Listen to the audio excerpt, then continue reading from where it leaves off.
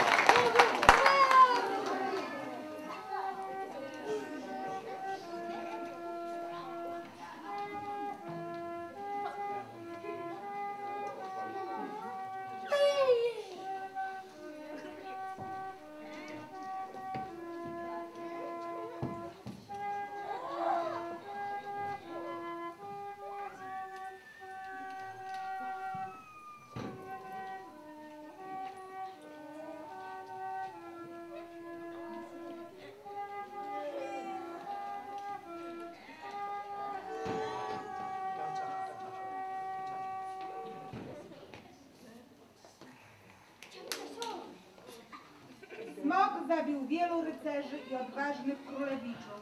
Czasem coraz rzadziej i coraz mniej rycerzy przybywało do Polski, by walczyć ze smokiem. The dragon killed many great princes and brave knights.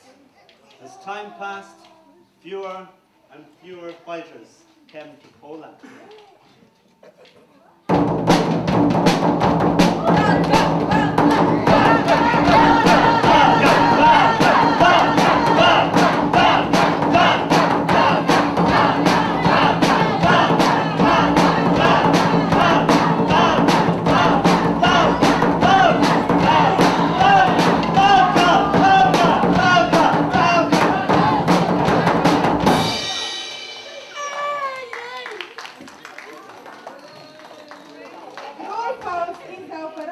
Rękę swej pięknej córki który jako pierwszy pokona smoka.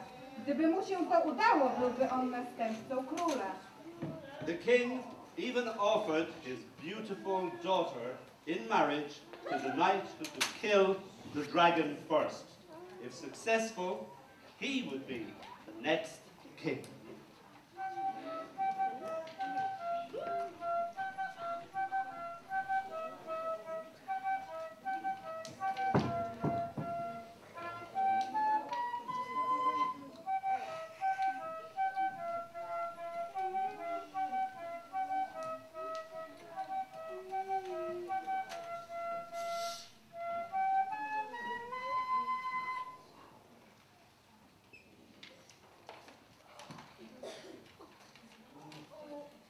Pewnego dnia biedny szewczyk o imieniu Krak wpadł na pewien pomysł.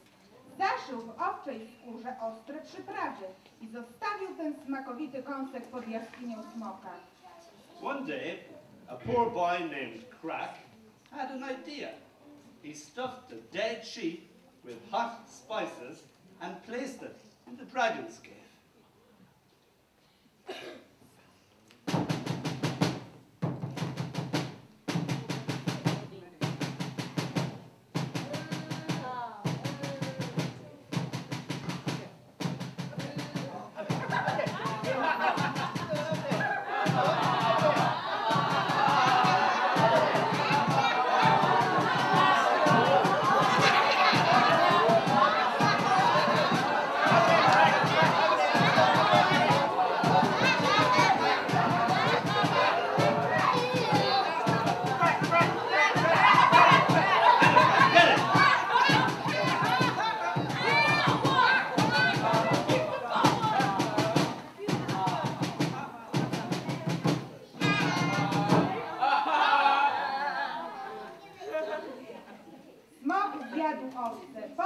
Wysiłku poczuł ogromne pragnienie.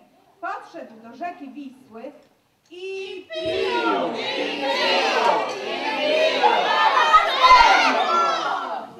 The dragon ate the sheep.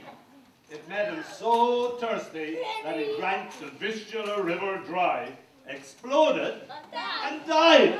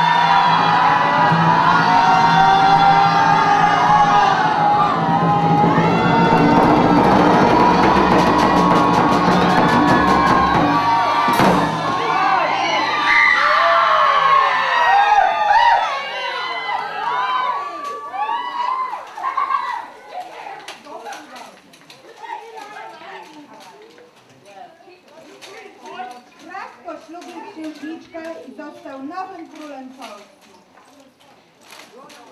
Brad gained the princess's hand in marriage, became king, and grew very rich.